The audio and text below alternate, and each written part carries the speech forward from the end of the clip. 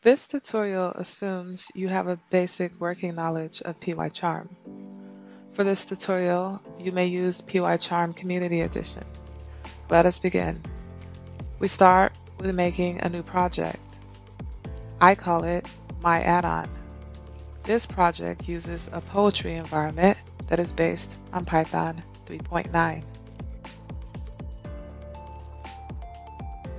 The next thing we will do in observance of the project structure we will be using is create our runanki.py file. This enables us to run Anki from within PyCharm. You will copy and paste the code as demonstrated. After we've created our runanki.py file, we will create a runtime configuration for it.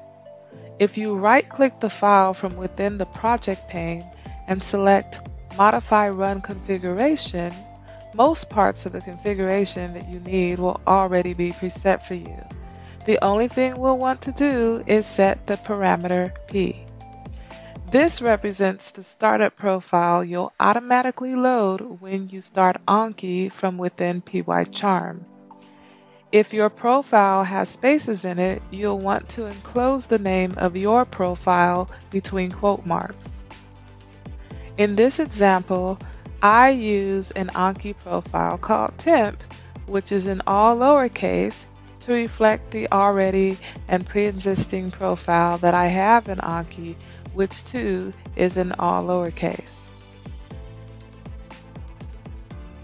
Now, Observing the project structure we have implemented, we are going to add the SRC folder into the root project folder.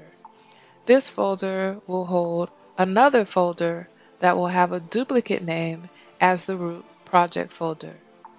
This child folder will hold the actual files of the plugin itself while the root folder is simply a container that holds not only this folder, but all other additional files needed or used to help develop a plugin for Anki within PyCharm.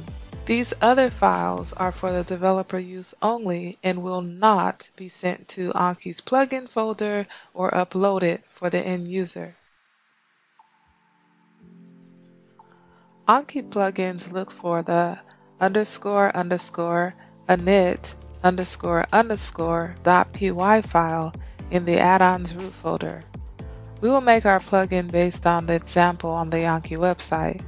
We will copy and paste the code into the plugin initiation file.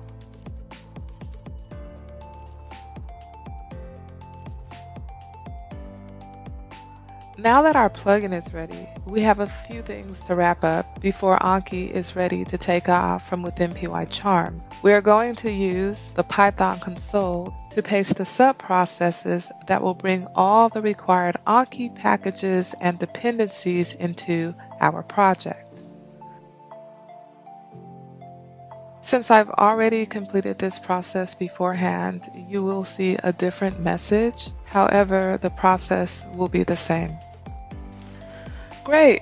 We're now ready to run Anki for the first time within this project.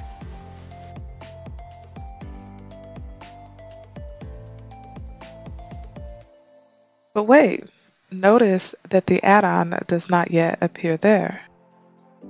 We're going to fix that by creating a symbolic link to the add-on within Anki's add-on folder. This will allow Anki to access the add-on without the add-on having to actually be in the folder. On a Mac computer, the alias will look like a regular alias. However, the way that it works is systematically different and will be created using a different process than what you may be used to. To create our link, we are also going to need to copy the path of our add-on. It will not be the path of the direct root folder. Remember, it is the path of the My Add-on folder within the SRC folder, which is in the PyCharm project root folder, which has the same base name, My Add-on. Just follow along as shown. Now that we have both paths, the path of Anki's add-on folder and the direct path of our add-on, We are ready to make our symbolic link. Using the displayed template as a model, we are going to construct the symbolic link and use the internal terminal within PyCharm to create that link. Remember, if your path contains any spaces, to always enclose the path between quotes.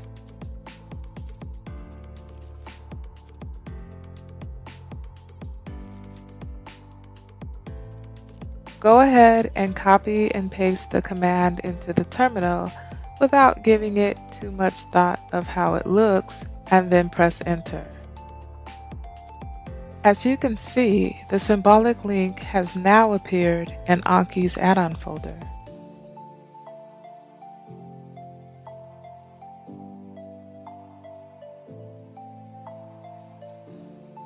Now let's see if our add-on will show up even though it's only symbolically linked but not actually there. Since we are both able to run Anki within Python, and our add-on shows up in Anki after being symbolically linked to the add-on folder, we now know that we have successfully set up a development environment to create a plugin for Anki. If you would like to explore the environment in more detail, you can revisit the pages I use for the tutorial and follow additional instructions if desired. Have a great day.